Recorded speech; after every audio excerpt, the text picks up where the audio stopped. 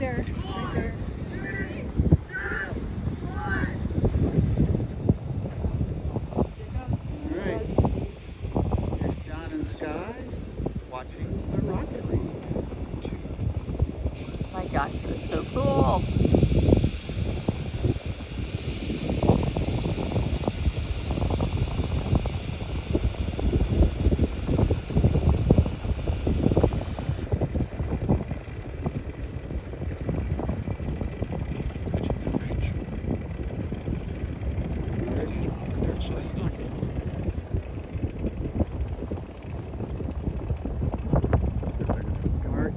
looks like it's coming straight over. It does.